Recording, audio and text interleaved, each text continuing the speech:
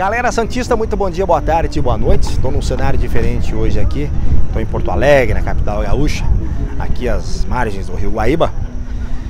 E para falar que nesse final de semana tem Santos e Palmeiras, Palmeiras e Santos. O Santos deve entrar com um time reserva, um time alternativo aí, porque na terça-feira o Santos tem a Copa Sul-Americana, né? O jogo de volta contra a equipe do River do Uruguai. Esse jogo será no Pacaembu sem torcida. Então a nossa torcida vai ter que ser sim no sofá dessa vez, na televisão, torcendo pro nosso peixão. O Rodrigo não pode jogar na Sul-Americana, portanto ele joga contra o Palmeiras nesse final de semana.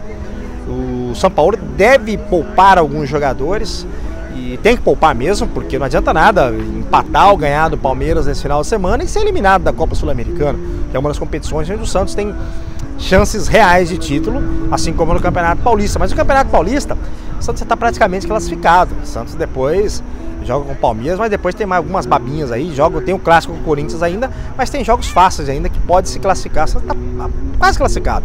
É o único time que está aí de 21, de, de 21 pontos, já tem 18 conquistados. Ou seja, o Santos está muito bem, é a melhor, é a melhor campanha do Campeonato Paulista até agora. Então vamos aguardar aí o que, que o São Paulo vai preparar pra gente.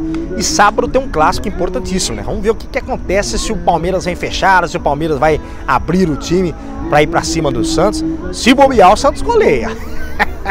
Será?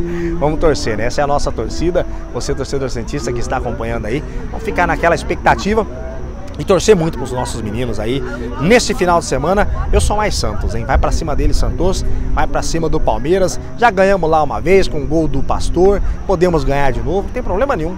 Já ganhamos uma vez mesmo, já abriu o caminho. Então, eu sou mais Santos e Palmeiras nesse final de semana. Pra cima dele, Santos. Tamo junto. Tchau, tchau.